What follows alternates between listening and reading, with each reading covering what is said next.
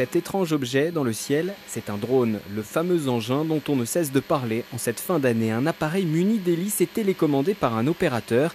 Équipé d'une caméra pilotée indépendamment, ce dispositif permet de réaliser des prises de vue aériennes exceptionnelles.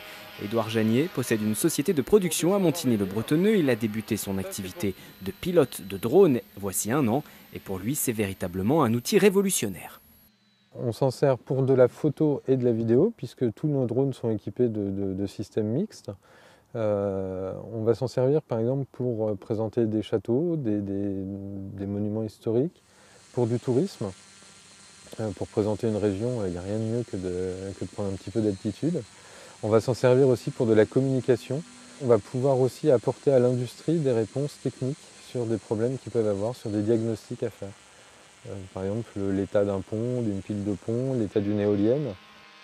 Équipé d'un GPS qui lui permet de faire du surplace, cet engin a une portée théorique de 4 km. Avec cet appareil, tous les mouvements deviennent possibles.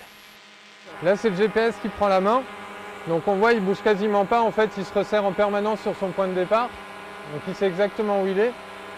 Ensuite, je vais avoir la manette des gaz, la rotation sur lui-même. Donc là, on le voit, il tourne dans un sens ou dans l'autre.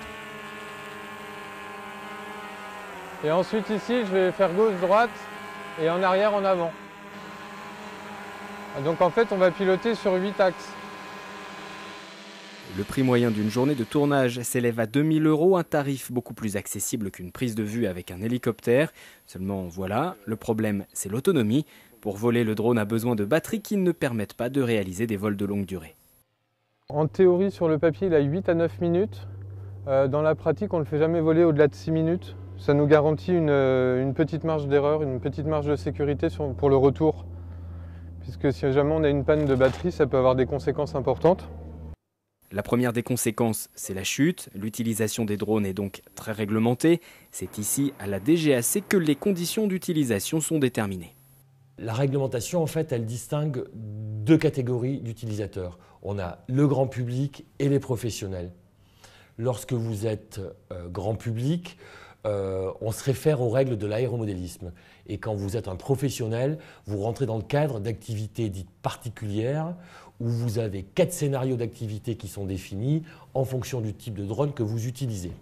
Dans les deux cas, les conditions euh, d'insertion dans l'espace aérien, elles sont libres en dessous de 150 mètres. Mais à trois conditions. La toute première, c'est en dehors des agglomérations, des rassemblements de personnes et d'animaux. Deuxièmement, c'est euh, en dehors euh, des zones proches des aéroports.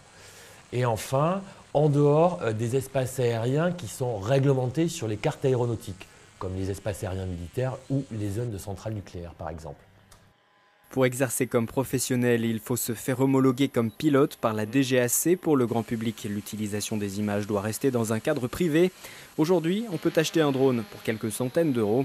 Il devrait donc obscurcir le ciel dans les prochains mois.